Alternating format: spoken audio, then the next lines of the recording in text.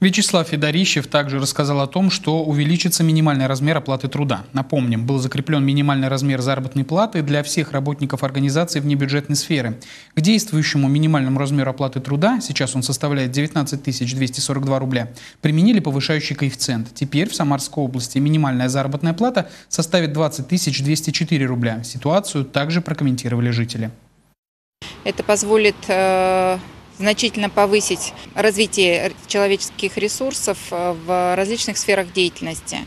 Именно то, что необходимо сегодня людям. Стабильность, уверенность в завтрашнем дне, э, в наличии собственной работы, возможности содержать, поддерживать свои семьи, своих родных, близких, ну и тем самым э, служить развитию нашего любимого региона. Вообще было бы классно, потому что инфляция, дорожают продукты, зарплата не поднимается. Я считаю вообще, чтобы люди достойную заработную плату получать. А если государство будет вообще к нам развернется, то это будет вообще здорово. Ну, конечно, положительно, потому что цены выросли очень значительно,